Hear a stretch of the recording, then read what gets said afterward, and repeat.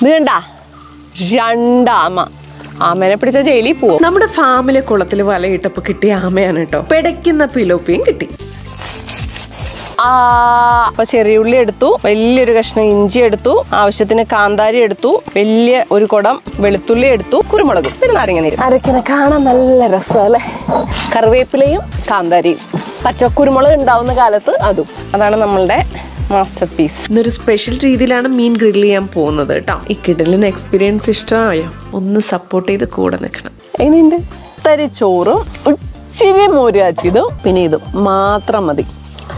തൽക്കാലം എനിക്കൊന്നും വേണ്ട. തല ഇങ്ങനെ പൊളിച്ചെടുത്ത് എന്റെ വലിയ മുള്ളൊക്കെ ഒന്ന് മാറ്റി ഇതാ ഇങ്ങനെ എടുത്ത്.